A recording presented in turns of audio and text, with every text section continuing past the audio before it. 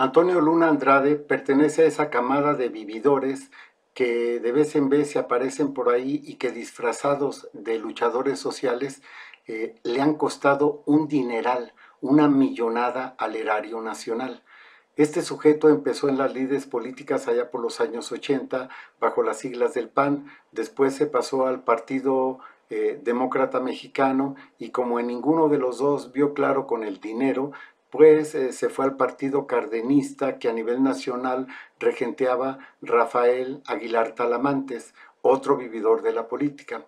Eh, se dice que fue Rafael quien le enseñó el arte pues de movilizar a los desposeídos, a los desamparados y hacer sus plantones y sus manifestaciones. Este sujeto eh, durante toda su vida ha medrado del PRI, durante toda su vida, pero cuando vio que el PRI ya no daba para más, pues brincó nuevamente al PAN y apoyó la candidatura a gobernador de Miguel Ángel Yunes Márquez.